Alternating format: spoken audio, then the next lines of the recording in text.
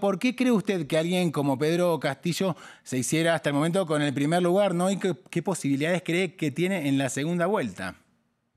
A ver, vamos por partes. Lo primero, ¿por qué Pedro Castillo llega a tener este protagonismo cuando hace un mes no existían las encuestas, cuando luego en los últimos 15 días aparece, pero en los últimos 10 días cobra especial de valía, digamos, en, el tema de los números, eh, ya se le veía creciendo.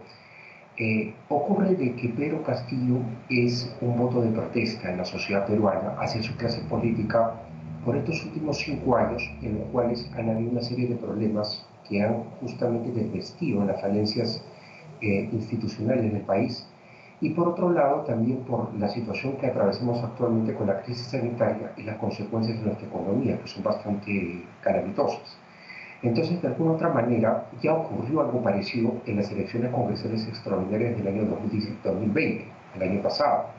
Nosotros tuvimos unas elecciones especiales para escoger un congreso que termine de completar el mandato de un congreso disuelto y se votó por una agrupación de los israelitas del Nuevo Pacto Universal, el FREPAP, de una manera sorpresiva. El electorado tuvo un voto de protesta y esto parece que se ha replicado ahora con la votación a favor de Pedro Castillo, que como repito, tiene una propuesta extremadamente radical que eh, muchas veces se veía como que exagerada, distante, pero que finalmente logra el voto ciudadano y lo ubica en el primer lugar en esta eh, primera vuelta. Ahora, como decíamos previamente, Keijo Fujimori se está perfilando para la segunda vuelta, ¿no? Con un margen bastante reñido. ¿Qué espacio e importancia, cuéntenos, ocupa el Fujimorismo en la escena política de Perú?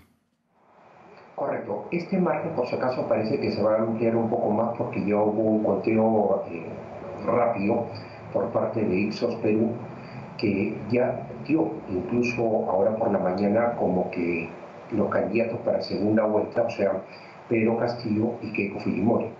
Esto se está corroborando con la información que progresivamente está llegando eh, de la ONU, pero que tantas posibilidades tiene bastante altas. ¿Por qué?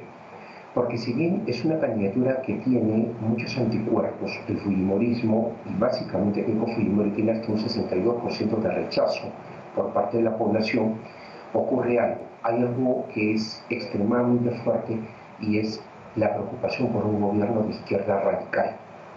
La votación de Pedro Castillo es una votación hepática, pero es una votación que responde a sectores radicales del país que no es la gran mayoría, no es el punto medio. Entonces, en principio, se podría dar una suerte de voto, eh, voto eh, a favor de Keiko, aunque haya pues un rechazo, un voto forzado por esta candidatura.